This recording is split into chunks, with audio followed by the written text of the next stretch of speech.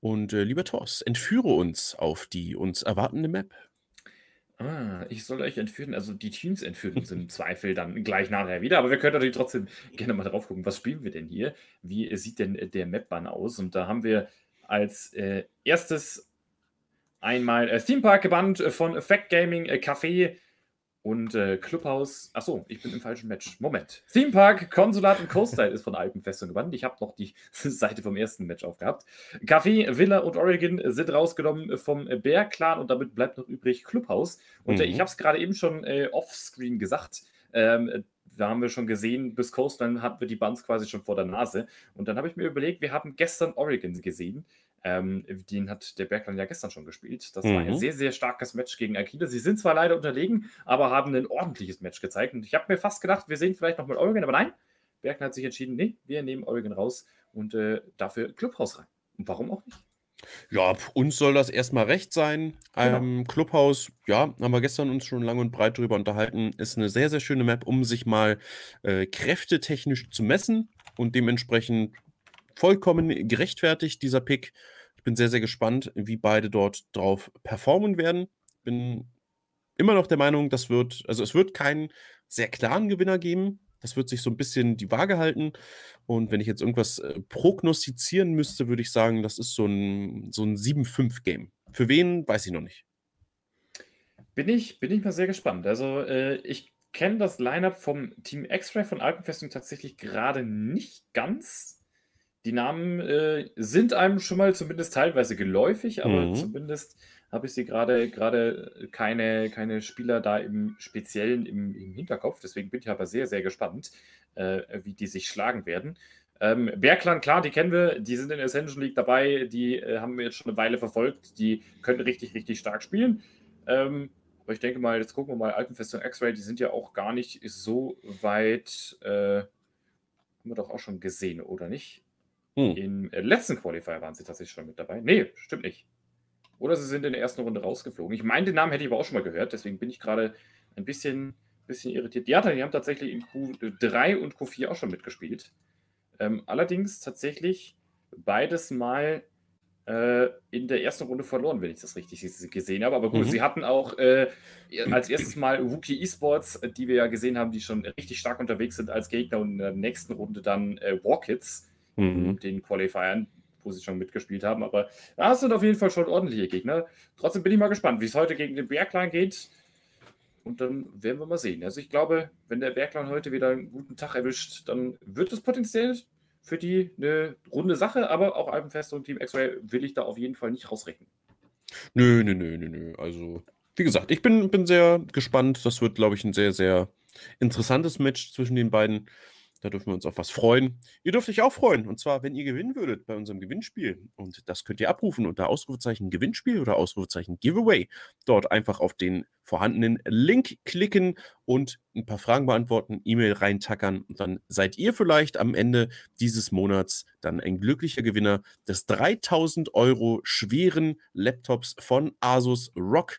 Und das ist der Strix 17 Scar nennt sich das gute Stück. Und wenn ihr da mal in die Spezifikationen reingucken wollt, wie gesagt, 300 Hertz, der liebe Shadow schreibt es auch gerade, 300 Hertz. Bildschirm an einem Laptop, das ist schon mal eine krasse Sache. Mhm. Neuester i9-Prozessor, die neueste 280 GTX Super. Also, äh, was will man mehr? Ja, das ist äh, absolut ein Wahnsinnsteil. Wie gesagt, wir haben ja vorhin schon mal gesagt, da sind die Sachen, die bei mir und ich glaube bei dir auch unterm, unterm mhm. Schreibtisch steht, äh, die können da nicht mithalten. Und das Ding ist ein Laptop.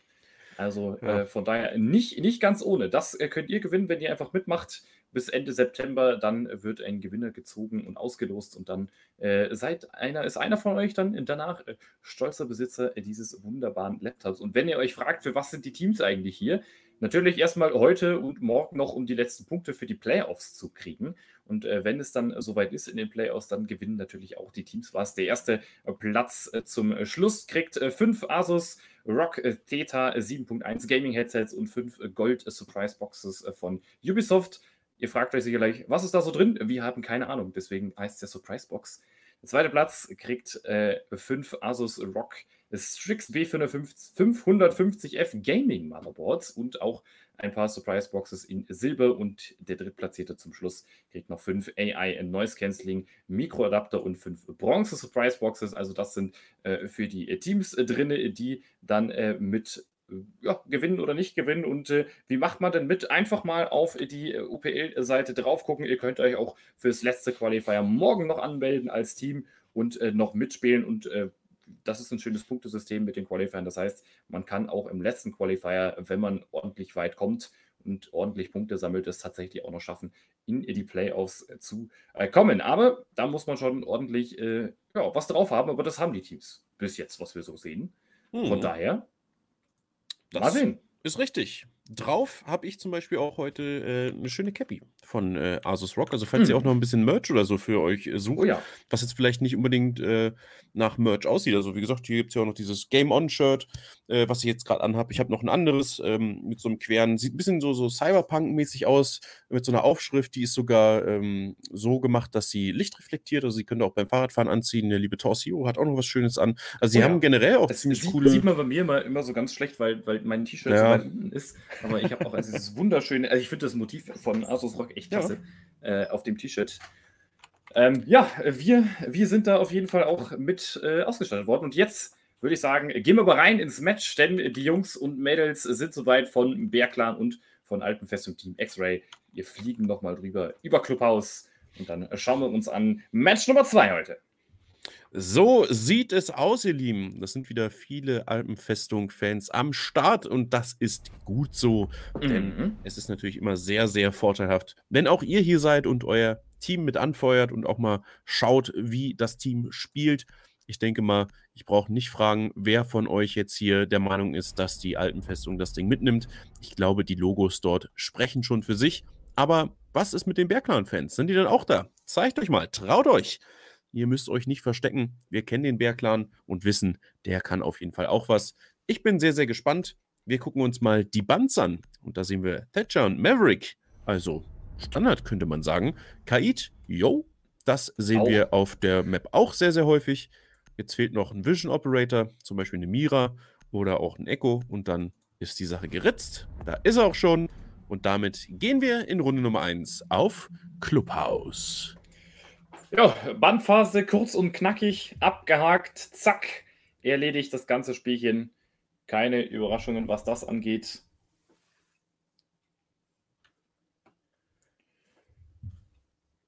Und damit starten wir in die erste Runde. Gucken wir mal, Alpenfestung, äh, Team X-Ray startet in der Defense. Und es geht zuerst für die Kollegen in den Keller, so wie es aussieht. Church und Arsenal geht's los. Und dann äh, gucken wir mal, wie das Spiel so läuft. Line-up-technisch sind da keine großen Überraschungen dabei, zumindest unten nicht. Mozzie, Bamai, Maestro immer schön, Smoke mit dabei, noch einen Jäger. Die Kali oben rechts hätte ich noch am ehesten als Überraschung empfunden hier auf Clubhouse, aber wir sehen, es ist noch nochmal ein Six-Pick. Der gute Zero, schätze ich mal, wird er ausgesprochen, ist heute dabei beim Bear-Clan und äh, nimmt doch eine Ash mit als Six-Pick. Warum auch nicht? Ja, und damit schauen wir uns doch mal an, was man hier seitens Alpenfestung so zaubert unten im Basement. Und ich weiß, bin jetzt gerade nicht sicher, ob wir gerade auch in dieser Runde zu Anfang keinen Ton haben. Ich höre zumindest keine Also Verbarrikadierung. Du hast Ton? ah, Okay, jetzt höre ich ja. auch Ton. Ja, alles gut. Ich musste hier mal kurz refreshen. Das lag an mir. also, äh, Shadow kriegt schon wieder Schweißausbrüche hier in der Regie. Aber diesmal lag es an mir. Also, alles gut. Ich höre auch Ton. Es wird hier also verbarrikadiert ohne Ende. Es läuft also. Dementsprechend haben wir jetzt hier gleich die Action Phase von Berglan, der sich ja doch gegen diese sehr, sehr starke Mannschaft auch behaupten muss. Und da geht sie auch schon los. Schauen wir mal an, was sie für eine Attack spielen wollen. Man geht hier auf jeden Fall erstmal auf absolute Konfrontation seitens dem lieben Sledge, also seitens Basti, der ja, sich kurz mal aufs Dach stellt und freudig vom Dach ins Gebäude rein knallt. Ich weiß nicht genau, was er da mit bezwecken wollte. Wahrscheinlich diese Sidewall hier öffnen. Oder zumindest mal abaimen. Ich weiß nicht, ob die vorher schon offen war. Das konnte man relativ schlecht sehen. Aber das ist relativ unwichtig auch gerade, denn es ist auch kein Kill gefallen, es ist nicht mal Schaden gemacht worden. Es sah einfach nur interessant aus. Dementsprechend läuft das soweit. 2 Minuten 16. Alles noch im grünen Bereich. Es wird gedroht. Wir haben die Central Stairs jetzt unter Kontrolle, unter Vision Control. Noch nicht direkt unter physischer Kontrolle, aber man ist auf jeden Fall schnell dabei. Und hier sehen wir gerade, da kriegt man gleich von hinten nämlich was mit. Da war Zero nämlich im Start. Da hat man sich ganz fix mal kurz in Construction vorgewagt und da den Gar ausgemacht. Und wer sitzt denn da hinten noch? Ist das etwa der liebe Joe? Mhm, ich glaube auch. Vom Umrandung, von der Umrandung Ui. her. Aber oh, schade. Kann aber den Kill nicht setzen. Das ist natürlich ärgerlich. Zero kriegt damit seinen zweiten Kill und holt sich auch den äh, guten Mozzie ab. Damit wichtig vor allem für Bergland in der Tech, sich den Topfloor direkt zu klären, um auch da nicht so viel Zeit zu verlieren. Und jetzt kann man hier natürlich den Spot auch durchaus auch ein bisschen leichter ausspielen, nachdem man hier jetzt ein bisschen äh, weniger Leute ist bei Alpenfestung in der Defense. Also von daher mal sehen, ob das was wird, aber ich denke, Utility und so weiter hat man da auf jeden Fall reichlich dabei. Ja, ich habe erst gedacht, er sitzt hier noch safe in Blue mit den ganzen ADS oder so, aber gut, wenn Beninator natürlich einfach reinmarschiert kommt, da hilft dir das Ganze auch nicht wirklich viel. Das war's mit dem Vamai. Dönerrolle ist noch dabei. Astria auch noch, wollte ich gerade sagen, aber nein, Beninator setzt da gleich den Kill, kriegt auch den zweiten noch. Und damit ist es direkt mal ein Flawless-Sieg, eine Flawless-Runde mit dem der Bärclan hier startet. Ja, das kann sich auf jeden Fall schon mal sehen lassen, was man hier seitens Bärclan spielt. Das war sehr, sehr solide. Auch wenn ich anfangs ein kurzes Fragezeichen über dem Kopf hatte, weil ich, wie gesagt, nicht ganz wusste, auf was der liebe Sledge da denn genau schießt. Ich, wie gesagt, bin immer noch der Meinung, das war die Sidewall, die man da so ein bisschen mit abaimen wollte, um dort eben nicht ja, geprefired zu werden und gespawnt killt vielleicht sogar. Aber gut, also Alpenfestung muss jetzt hier nochmal ein bisschen anziehen, was die Verteidigung angeht. CCTV ist jetzt der Raum, den sie für sich beansprucht haben, denn unten, ja, da lief es ja, wie gesagt, gerade nicht ganz so gut. Stellungsspiel war gut, aber bei den Abschlüssen hat es ein bisschen gehapert. Aber was sage ich hier auch groß und laut? Es steht ja gerade mal 1 zu 0. Also das ist, wenn man es genau nimmt, noch nichts.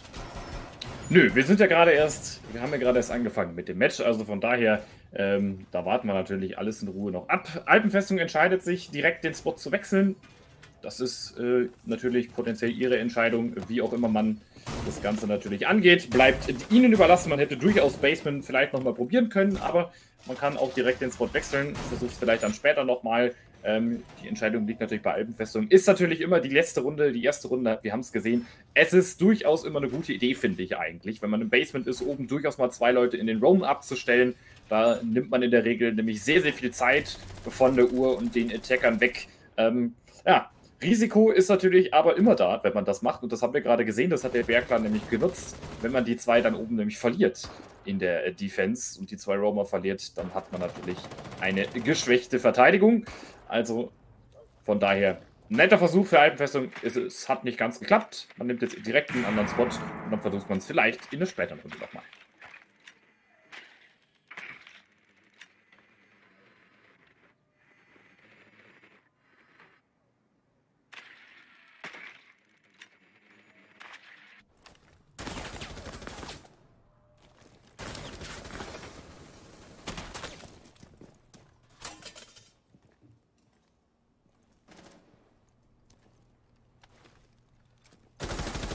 Oh. Oh.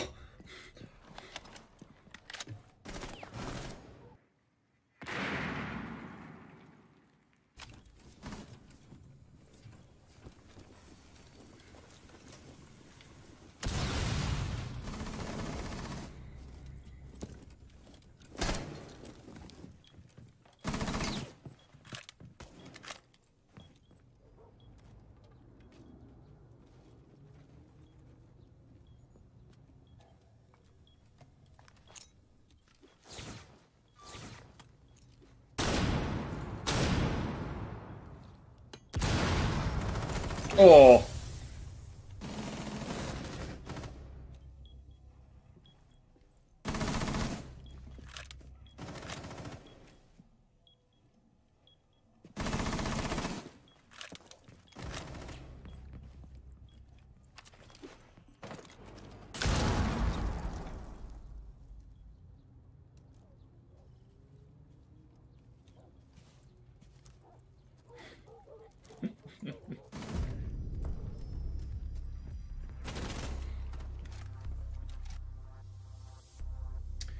Ja, äh, New Holland. Ich glaube, Fox hat gerade irgendwie kurz einen Moment Ausheimen oder sowas. Wir haben gerade kurz aus der Regie was gekriegt. Fox, bist du wieder da? Ich bin die ganze Zeit eigentlich da. Ja, also ich höre dich auch. Ich höre, ja, ich auch. Okay. Okay. Ja. Äh, äh, okay, alles klar. Äh, wie gesagt, vielleicht auch in der Regie gerade irgendwas nicht ganz, wie auch immer, hat sich damit erledigt, das Thema. Wir haben gerade kurz einen äh, Zwischencall aus der äh, Regie gekriegt. Aber alles gut. CCTV und Cash ist der nächste Spot, aber eigentlich äh, wollten wir ja gerade über die Rindo nochmal reden. Ja. Äh, beziehungsweise ich habe dich ja gerade effektiv damit so ein bisschen unterbrochen, also bitte. Ja, ja, wie gesagt, ich war ja eigentlich im vollen Cast. so war nicht. Ne? Also die ganze Zeit hier am, am Quatschen gewesen. Hat man mich leider nicht gehört. Es war, wie gesagt, eine äh, ja, sehr, sehr schöne Runde, die Alpenfestung da von der Verteidigung her aufgebaut hatte. Und auch vom Stellungsspiel war das wieder sehr, sehr fein. Aber man hat bei Bär irgendwie taktisch ganz schön in die Vollen gegriffen. Auch, wie gesagt, mit der Catwalk-Aktion, dass man ihn da wieder zu zweit rausgeholt hat. Und New Holland, der ist gerade, weiß ich nicht, was der gefrühstückt hat, aber der ist gerade auch richtig auf Zack und kann gerade einen Abschluss nach dem anderen für den Bär-Clan holen. Interessant.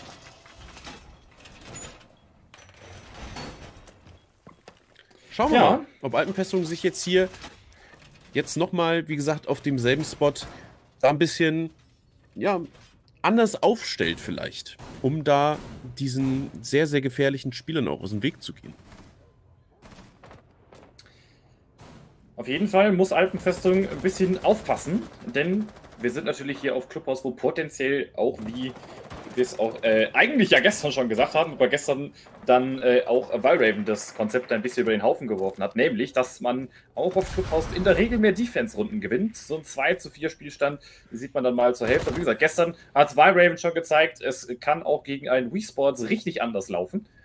Und äh, vielleicht macht der Alpenfestung auch nachher in der Tech was. Aber Bergland 2-0 in der Tech ist auf jeden Fall schon mal ein guter Start und auch ein guter Start in diese Runde ist, dass man sich den Opening Fact jetzt hier schon mal holt. Aber Kersten ist noch dabei, kriegt zumindest den ersten Refact auf Zero und sitzt hier in der Bar im Moment noch ganz entspannt. Beziehungsweise entspannt vielleicht nicht mehr, aber sitzt da noch. Und solange der da noch sitzt, muss der Bergland sich mit dem Kollegen da erst einmal auch noch beschäftigen. Hat ja auch jetzt Unterstützung von Astrea, der für einen Smoke sehr weit weg ist vom Spot, muss man sagen. Aber bisschen ungewöhnlich, vielleicht funktioniert es ja trotzdem. Aber auf jeden Fall ein Teammate zu unterstützen da an der Stelle ist gar keine blöde Idee. Ja, oh, schön. Das, das war wichtig. Ja. Das war sehr, sehr wichtig, dass er den jetzt da geholt hat, denn das war jetzt so ein bisschen das Verbindungsglied nach oben auf CCTV. Und die hat man natürlich jetzt unterbrochen, denn jetzt ist Astrea da so ein bisschen aufgeschmissen, denn er wird jetzt von zwei Seiten belagert. Zumindest denkt er das noch, denn jetzt gibt es die Rotation von New Holland. Eieieiei, New Holland, was ist denn heute mit dir los? Was geben sie dir nur zu essen, mein Lieber? Was gibt's da Feines, das dich so frackstark heute macht? Jetzt Beninator raus, Joe Con. Derjenige, der hier den Frack zieht mit der Alda. Das Magnet System ist am Start jetzt hier Full Flash. Joe Korn kann sich aber verstecken. Dönerrolle holt Eye Black und damit wieder den Operatorenausgleich. Basti legt aber nochmal nach. Joe Korn rausgenommen. Jetzt liegt es erneut an der Dönerrolle. Und ich hatte gerade eben schon so schön gesagt, hoffen wir mal, dass die Dönerrolle mit allen drei Soßen ist und besonders scharf, denn jetzt muss er hier ganz schön was leisten. Beide full live, beide am Start und wollen jetzt hier auf den Spot drauf. Der Diffuser wäre auch in greifbarer Nähe. Er hat jetzt da nur sein Mobile Shield, was ihn so ein bisschen abschirmt. Oh, wenn er wüsste, wenn er wüsste, das sagen wir relativ häufig, weil wir so schön viel sehen können und sie aber nicht und zum Glück auch nicht. Jetzt gibt es nochmal von der Dönerrolle die Rotation. Die funktioniert so halb. Man kann auf jeden Fall ganz schön fraggen. Jetzt gibt es auf den Stairs den nächsten Shootout und der wird durchgehen. Der Plan geht durch. Damit geht man jetzt in die Double-Angle-Funktion in der Attack und lässt Dönerrolle hier ganz entspannt mal den Retake holen. So zumindest die Theorie und auch die Praxis. Bärclan holt sich Punkt Nummer 3. Ja, auch die zweite Attack oben mit Erfolg verarbeitet sozusagen beim Bärclan. Schönes Spiel da unten in der Bar eigentlich. Äh, schade, dass nicht mehr draus geworden ist für Alpenfestung, aber Ja, der Bergland, da sind schöne Cross-Angle dabei gewesen. Zu sagen, warum. Ne? Weil das Stellungsspiel, wie gesagt, auch mhm. gut ist. Es, es mhm. liegt halt so ein bisschen an den Abschlüssen. Äh, Abschlüssen. Also an beidem. ja, absolut. Ne? Äh, und deswegen hat der Bergland da natürlich auch so einen kleinen, also man hat das da unten relativ schnell gelöst, spielt dann auch den Spot auf, man kriegt den Breach ohne Probleme durch, man kriegt einen Plant sogar durch, man hat äh, die Garage sich geklärt, ja, mhm. Dönerroll alleine. Klar, ist natürlich immer so eine Situation, 1 versus 2, nicht ganz einfach so oder so und schon gar nicht im Postblend. Schade, natürlich für Alpenfestung äh, Team X-Ray, gut für den Bergland, die damit 3-0 in Führung stehen äh, bis hierhin. Jetzt geht's für Alpenfestung wieder runter.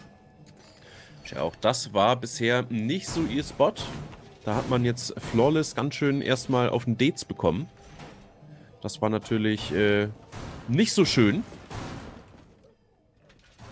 Aber mal schauen, ob das jetzt hier anders wird.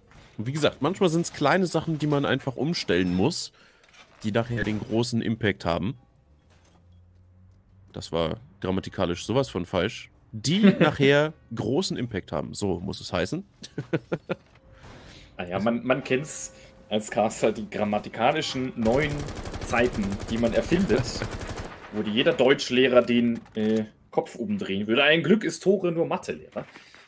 In Anführungsstrichen. Ja. Auch. Und auch er ist davon nicht äh, unberührt. Ne? Also er hat auch manchmal so seine Momente, wie wir alle. Das ist so eine ja, Caster-Krankheit, wenn du denkst, guckst, reagierst und laberst.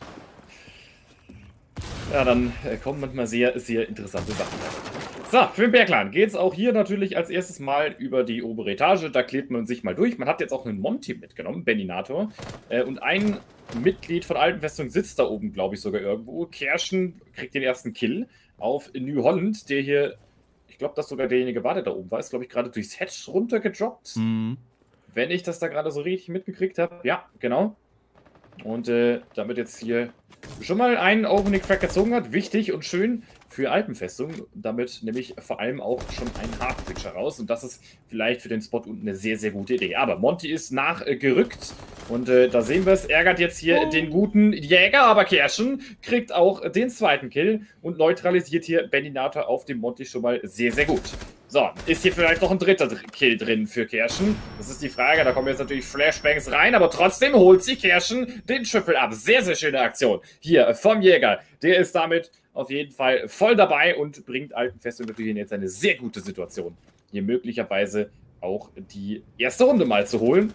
Und äh, oh, der Legion, der wartet da drüben im Eck auch noch beim äh, Strip Club Hallway. Da sehen wir es. Und Joe Korn kriegt auch den Kill auf äh, Basti. Sehr, sehr gut, was Altenfestung gerade macht. Also es geht dann auf einmal doch los. Und es ist Zero ganz alleine. Er müsste das Ace holen. Hat den Diffuser noch in der Hand. Der liegt drüben beim Jäger. Und muss sich da drüben auch noch mit dem Legion rumschlagen. Das wird jetzt eine Herausforderung und es bleibt auch bei Kill für Alpenfestung diese Runde. Der letzte Kill und damit die Flawless Round für Alpenfestung. Auf einmal sind sie doch da. Was ganz was anderes wie die letzten Runden zuvor. Willkommen auf dem Scoreboard, Alpenfestung. Schön, dass ihr euch da jetzt was Schönes überlegt habt gerade, um auch mal zu zeigen, wir können auch Flawless und wir sind immer noch am Start. Damit 3-1. Das ist auf jeden Fall schon mal ein gutes, gutes Lebenszeichen von der Alpenfestung. Vielleicht hat man einfach am Anfang den Motor nicht so richtig anbekommen, kann jetzt aber vielleicht dann gleich in den zweiten Gang schalten und hier die nächsten Punkte mitnehmen, denn jetzt müssten sie im Idealfall mit einem 3-3-Swap aus der Geschichte rausgehen. Alles andere wäre, ja, ungünstig für sie. Und würde viel, viel Arbeit bedeuten, ne, denn wir alle können ja rechnen. Alleine, was man dann an Runden wieder gut machen muss, da reicht es manchmal dem Gegner dann schon, wenn man dann einen kleinen Fehler macht und der sich dann zufällig ein Brötchen holt.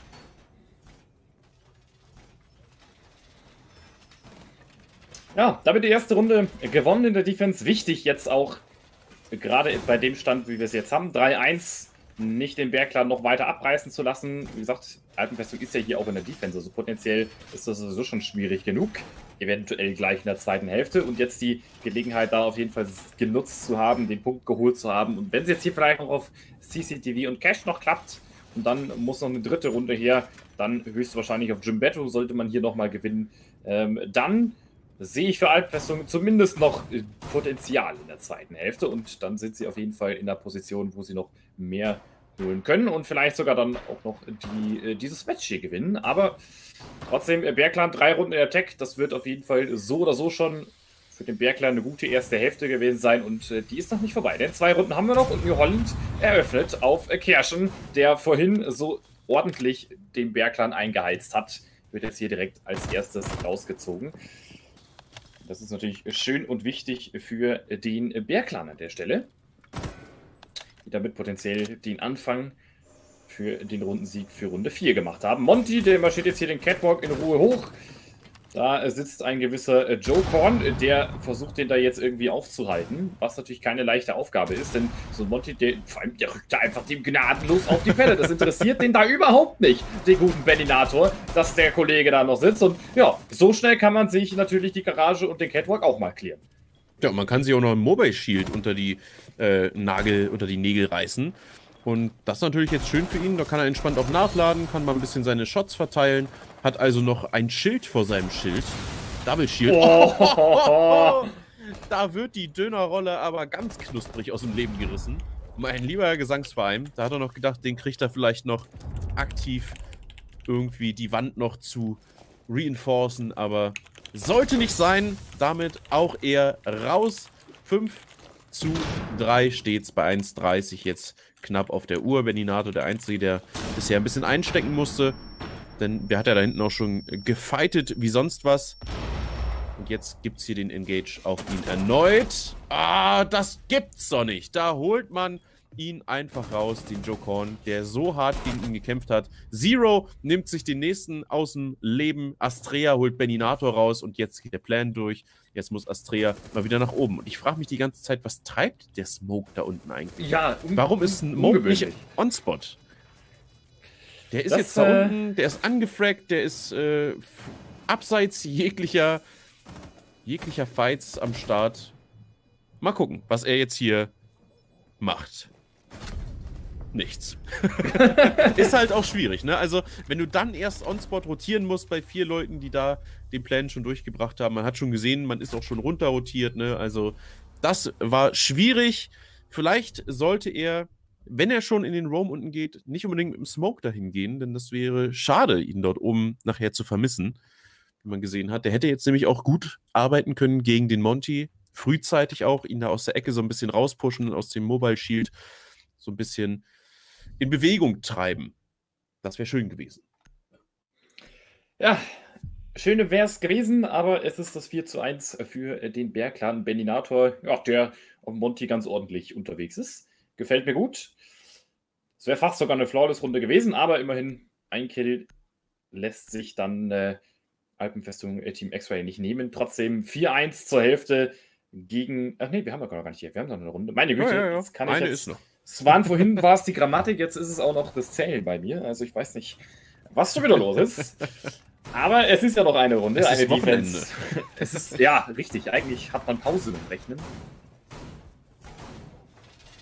Ja, ihr Lieben. Aber Alpenfestungsfans, ihr dürft mal ganz kräftig hier nochmal eure Emotes spammen. Wie gesagt, immer ganz wichtig, nicht mehr als neun Stück, sonst ist der Bot immer sauer. Aber gebt noch mal ein bisschen Power für die Alpenfestung, die kann es gerade gebrauchen denn die müssen sich jetzt unbedingt den nächsten Punkt holen, sonst sieht es ganz, ganz düster aus.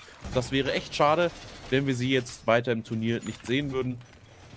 Und Bärclan macht das, also klar, die dürft ihr natürlich auch weiterhin anfeuern, aber die sind auch gerade so schon on fire, also es läuft. So sieht's aus. Ein Versuch hat Alpfeste noch, zumindest in der Defense. Ein letztes Mal ist CCTV und Cash. Sie haben den Spot jetzt, muss ich mal kurz gucken, dreimal versucht. Davon ist man äh, tatsächlich dreimal gescheitert, was natürlich ärgerlich ist. Nur Church und Arsenal hat es einmal gereicht für den Rundensieg. Das war die eine Runde, die ja sogar flawless war. Also mhm. können tun sie es ja eigentlich, Alpenfestung. Ja. Schade, dass es nicht so ganz äh, läuft. Oh, das war schon mal gefährlich für den Goyo. Nette Idee, da versuchen den Monty aufzuhalten. Aber die Jungs vom Bergland machen das geschickt. Das ist nicht nur der Monty da oben, sondern da wird unten auch noch mit einem zweiten Engel gearbeitet. Wir sehen nämlich die Rolle hier ah. unterwegs und oh, richtig knapp da gerade. Joe Korn ist injured gesetzt für den Augenblick. Und auch das Goyo-Schild, was man da eigentlich platziert hat, auf den Stairs oben beim Catwalk, hat nicht gereicht, um die da irgendwie aufzuhalten. Cashen kriegt äh, Zero, Astrea und Korn fallen von New Holland und Basti, der eine Frag Grenade nochmal hinschmeißt. Aber Dönerrolle kriegt auch einen Kill auf iBlack. Das war's mit dem Thermite. Auch das gar kein schlechter Kill, aber der Breach ist schon offen. Deswegen wird das Bergland, sagen wir mal, nicht ganz so wehtun, wie es eigentlich vielleicht sonst der Fall ist, wenn da der Breach noch zu ist. Und Beninator ist nach wie vor am Leben auf dem Monty. Basti noch dabei, New Holland noch dabei. Mal sehen, was die Runde noch gibt. Sie ist nämlich erst halb rum hier an der Stelle. Und äh, Kerschen kriegt hier New Holland, der da, glaube ich, ich weiß nicht, ob er das gar nicht gecheckt hat, dass hier der Jäger auf einmal wieder hinrotiert. Und jetzt wird es natürlich ein bisschen brenzliger für den Monty da an der Stelle. Tech kriegt Basti und es ist wirklich nur noch Monty Beninator alleine. Und auch der hat da natürlich keine Chance. Altenfestung holt sich nochmal die Runde und macht mindestens mal das 4 zu 2 draus. Wichtig und schön, um hier zumindest mit einer zwar nicht optimalen Situation, aber zumindest mit einer machbaren Situation in die zweite Hälfte zu gehen.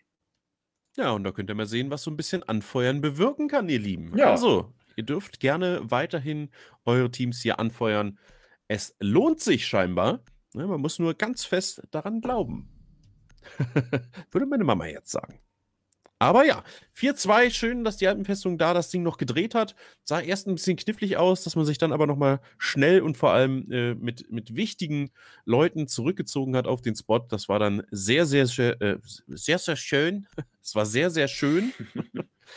und äh, dementsprechend, ja, nur weiter so. Jetzt müssen sie natürlich in der Attack zeigen, dass man dort auch nochmal Punkte holen kann. Berglan in der Defense ist halt auch nochmal ein Brocken. Auch das können sie sehr, sehr gut. Wir haben gestern ja gesehen, sie sind ja teilweise auch gerne mal experimentell, ziehen sich als Team sehr, sehr weit auseinander. Und man muss sagen, es ist jetzt halt auch noch nichts verloren. Es ist halt nur noch ein Stück mehr Arbeit geworden. Man darf Mhm. also weiterhin auch noch Däumchen drücken, mitfiebern. Es ist noch alles drin. So, auch der Bergland startet im Keller in ihrer Defense. Church und Arsenal, wie das Spot so schön heißt. Line-Up technisch, wir haben ein bisschen Vision dabei. Wir sehen Basti auf der Valkyrie. Auch iBlack ist zwar technisch gesehen keine Vision, aber trotzdem, wenn man da in so eine Gu reinsteppt, das hört man in der Regel als Defender, wenn man da irgendwo daneben sitzt. Man sieht ja die Gu-Mines nicht mehr, wenn man nicht eine direkte Line of Sight hat. Nach dem Rework, den sie ja irgendwann mal gebracht haben, auch bei Legion. Trotzdem, viel, viel passiert natürlich da auch übers Gehör und man hört, wenn jemand jetzt so eine Gu-Mine reinsteppt, wenn der nur ein, zwei Meter weg ist. Beninator eröffnet auf Ice-Tech und äh, Astrea ist auch gleich mal injured äh, und äh, was auch immer hier gerade passiert ist, Beninator kriegt Astrea, bevor der Refake von Kerschen kommt, aber der Beninator hat da seine Arbeit effektiv gemacht. New Holland kriegt auch die Dönerrolle. Oh, die Kali lebt da auch ein bisschen gefährlich, aber kann hier den äh, Kill confirmen auf den Bandit. Ja, auch auf die Range ist es trotzdem immer noch One-Shot down. Die Waffe, wir haben sie ja gesehen. Aber der Berglan, der hat natürlich damit schon ein großes, großes Loch in die, in die Reihen von Alpenfestung hier äh, gem- ge, eine Schneise reingeschlagen, sozusagen. Es ist nur noch die Kali und ein einzelner Heartbreacher, nämlich die Hibana. Das wird eine Mammutsaufgabe jetzt für Alpenfestung, da unten reinzukommen. Ja, vor allem ist es schwierig. Also man sollte als Heartbreacher jetzt nicht unbedingt noch da die Hatch mit öffnen. Denn gerade bei zwei Leuten ist es jetzt sehr, sehr einfach dann zu lokalisieren, wo man sich befindet. Jetzt hat man noch das Überraschungsmoment, dass man die Hatch jetzt noch mit aufmacht. Yo. Aber man sollte dann auch fix versuchen wegzurotieren. iBlack reagiert natürlich jetzt drauf, genauso wie Basti. Die stehen jetzt da und da ging gerade äh, ja, nur die Hälfte auf. Das war nett. Das hat gut funktioniert. Also offen ist nichts, aber man hat sich jetzt natürlich verraten. Und jetzt muss man gucken, dass man seitens Kerschen irgendwie nochmal rotiert. Dass man beide aufgemacht hat, das ist sehr gut. Damit hat man gesagt, hey, ich bin hier oben, ich habe jetzt aufgemacht, aber ich rotiere jetzt nochmal. Und das, das ist sehr, sehr clever von der Alpenfestung, dass man da jetzt nicht auf diese beiden Hedges reinfällt und nochmal komplett rotiert. Damit bringt man Unruhe unten rein. Jetzt weiß man aber, der Drop ist real. Jetzt geht's ab. Kerschen wird rausgenommen. C4 kommt und iBlack holt sich Joe. War natürlich, ja, schade, dass man dort jetzt mit dieser Verwirrtaktik nicht erfolgreich war, aber es ist auch unheimlich schwer, das nur mit zwei Leuten durchzuziehen. Vor allem unten auf Basement ist so eine Verwirrung schnell gestiftet, aber auch schnell wieder aufgehoben. Ja, damit ist es das 5 zu 2. Der Abstand für den Bergland wird natürlich jetzt wieder ein Stückchen größer. Drei Punkte Abstand sind es jetzt. Ja, äh, Beninator, der wollte da oben Stockholm einfach Ärger machen und das hat er erfolgreich getan. Hat da ähm, zwei Kills, glaube ich, gezogen, bevor er gerefragt wurde. Ja, und auch äh, New Holland war es, glaube ich, der da, ähm, da wäre was auf dem Bandit, hat zumindest versucht, die Kali dann noch zu erledigen. Ähm, beim, bei der Kitchen oben. Schöne äh, Geschichten, einfach mal ein bisschen aggressiv gegengepiekt beim Bär-Clan und äh, auch teilweise erfolgreich. Hat Alpenfestung Team X-Ray da zumindest ein bisschen überrascht vielleicht. Auf jeden Fall hat man das hingekriegt, was man da vorhatte, nämlich einfach ein paar Leute zu holen. Und das äh, ist natürlich auch schwer dann für Alpenfestung. Mit zwei Mann da unten anzugreifen, ist echt nicht einfach. Tja, jetzt wird es aber langsam knifflig eng. hier. Mhm. Ja, es wird, wird knifflig. Also eng sowieso, das war es ja schon beim Rose Swap, aber da muss jetzt die Alpenfestung nochmal in die Trickkiste greifen. Und ich finde es super, wie ihr hier noch die Emotes in den Chat reinhaut. Ganz, ganz klasse Support hier von euch, von der Alpenfestung Family, wie ich gerade so schön noch gelernt habe, von mhm. diesem Panda. Und äh, dafür kennt man euch und dafür liebt man euch, dass ihr immer so fleißig am Start seid und wirklich jedes Spiel auch verfolgt und supportet. Das gibt von mir auf jeden Fall ein Chapeau. Und ja, wir sitzen natürlich jetzt hier in unseren gemütlichen Räumchen und casten das Ganze, aber man fiebert auch immer so ein bisschen mit, ne? Also man ist dann natürlich auch, wo man sagt, ey komm, Alpenfestung, da geht doch mehr. Wir wissen doch, wie ihr spielen könnt. Und Beninator eröffnet an Icetech. Erneut. Icetech leider schon das ein oder andere Mal hier Opening Frag gewesen. Jetzt gibt es hier den Versuch an der Sidewall. Da geht jetzt die Twitch an den Start. Kann sie dort zumindest eine Wall aufmachen. Jo, aber da wird gleich neu gesetzt. Zack, damit weg. Jetzt bleibt ihm noch, ich glaube, eine. Hat er noch. Wenn er die nicht vorher schon genutzt hat. Aber ich glaube, die müsste er noch am Start haben. Hm, ich glaube auch, also zumindest hätte mich das andere auch eher verwundert. Kerschen schleicht sich über die andere Seite so ein bisschen an. Der geht nämlich über das Bedroom über Construction. Er sucht da natürlich Valkyrie-Cams, die New Holland potenziell platziert hat, aber so offensichtlich wird, wird er die nicht gesetzt haben. Jokorn jetzt auch einfach rumrotiert, hat man sehr gut. Dann versuchen wir es halt von der anderen Seite, machen uns halt hier den Breach auf. Das geht auch. Ich glaube, da bist du zu langsam dran, guter Eye Black. Und den Breach, den kriegt man hier auch. Wenn es von äh, draußen in Richtung CCTV nicht funktioniert, dann auch einfach mal über Construction versuchen. Und das ist eigentlich auch kein schlechter Angriffspunkt. Das äh, muss man immer wieder sagen. Oh, oh. da hat iBlack sein, äh, ja, sein Gesicht ein bisschen zu weit hervorgestreckt hinter der Ecke. Und wird auch direkt bestraft. Und hier gezogen. New Holland. Nochmal ein C4 geschmissen. Erwischt den guten Kerschen. Und der Dönerrolle wird gezogen von Beninator. Das ist jetzt ärgerlich. Man ist zwar immer noch hier drinnen in Construction zu zweit, aber man ist halt nur zu zweit. Schön nochmal aufgepasst da auf den äh, Jump-Out beim äh, CCTV-Window. Beninator ist damit auch raus. Aber es ist trotzdem der Vorteil für Alpenfestung, wollte ich sagen. Nachdem äh, Joe Korn aber hier nochmal nach hinten auch aufpasst und sich Zero holt, ist es ein 2 versus 2. Aber Joe Korn ist low und die Zeit, die arbeitet nach wie vor gegen Alpenfestung. Da ist noch ein Smoke mit dabei und äh, man pusht den aber einfach durch. Astrea kriegt Basti, Joe Korn kriegt New Holland. Und was ist denn da auf einmal los? Ich hätte nicht gedacht, dass man beim Bär-Clan die so einfach reinkommen lässt.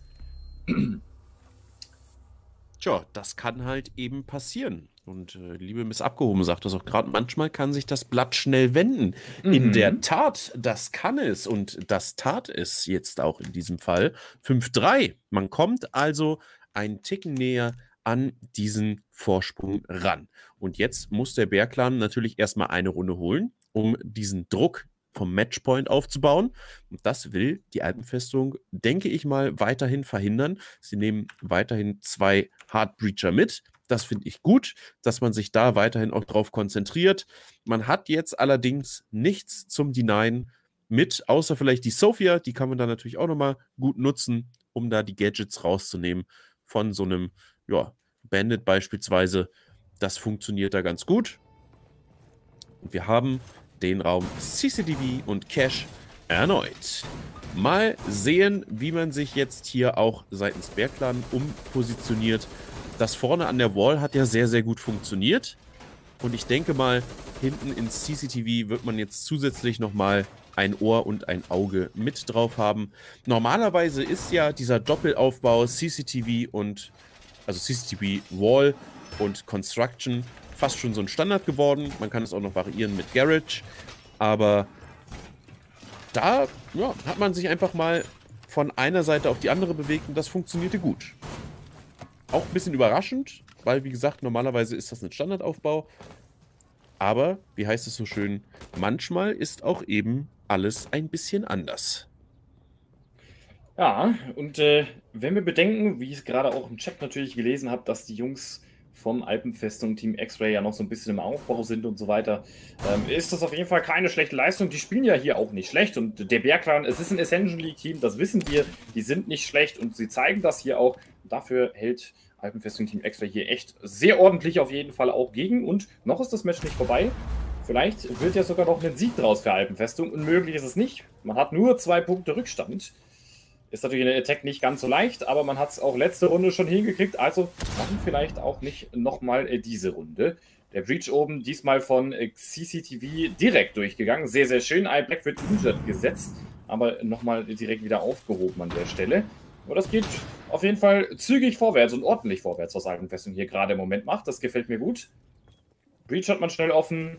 Man hat auch ein äh, Kapital, finde ich auch immer einen schönen Operator hier mitzunehmen. Man hat einen Nomad mit dabei. Also, wenn man jetzt hier sich vielleicht die Garage noch klären kann, über den Breach und über die Garage da eventuell den Plan durchziehen kann, dann kann ich mir durchaus vorstellen, dass man auch die Runde eventuell gewinnen kann.